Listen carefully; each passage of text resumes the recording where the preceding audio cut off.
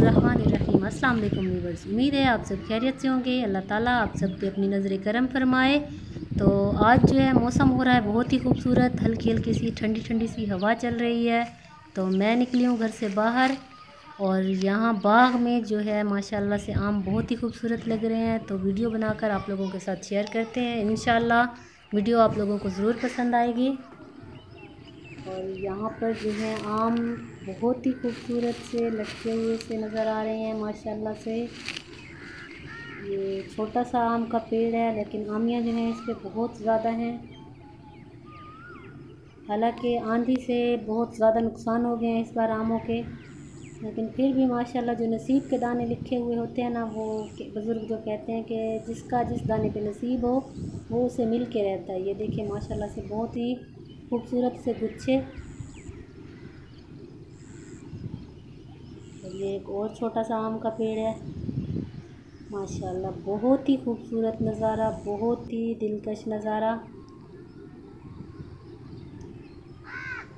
यहाँ देखें आप, माशाल्लाह से इतना खूबसूरत मंज़र है ना, और साथ में जो परिंदों की आवाज़ें आ रही हैं, उससे तो दिल बहुत ही ज़्यादा खुश हो जाता है।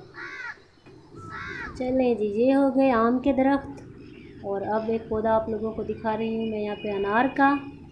माशाल्लाह, ये भी बहुत ही खूबसूरत पौधा है और अनार जो है माशाल्लाह मोटे मोटे से हो चुके हैं इस पर और ये देखें कितने खूबसूरत लग रहे हैं ये वाले अनार, माशाल्लाह। बहुत ही प्यारे लग रहे हैं, बहुत ही खूबसूरत।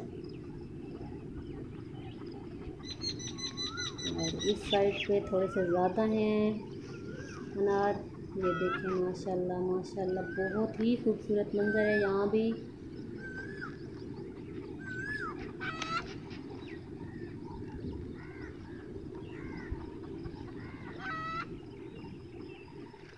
और इसके साथ ही है एक और दरख्त, खजूर का जिस पे बहुत ही ज़्यादा, माशाल्लाह से खजूरें लगी हुई हैं। ये देखें। ये भरे से जैसे बोरे होते हैं, उस तरह से ये इस पर खजूरें लगी हैं, माशाल्लाह। अल्लाह करे खैर से पक जाएँ। माशाल्लाह बहुत ही खूबसूरत लग रही हैं ये भी। ये देखें माशाल्लाह। ये है जी एक माल्टे का पौधा। इस पर अभी छोटे छोटे से माल्टे लगे हुए हैं। इन्हें तकरीबन पाँच से छः माह देर है अभी पकने में। क्योंकि अभी माल्टों का सीज़न भी मेरे ख्याल से तकरीबन दिसंबर में ही होता है, नवंबर, दिसंबर में ही।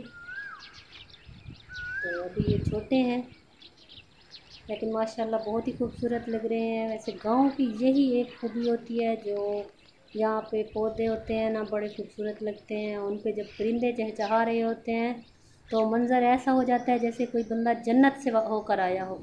और अगर वीडियो आप लोगों को पसंद आई हो तो इसे लाइक और शेयर ज़रूर कर दें और चैनल को सब्सक्राइब करना बिल्कुल ना भूलें। अल्लाह हाफिज़।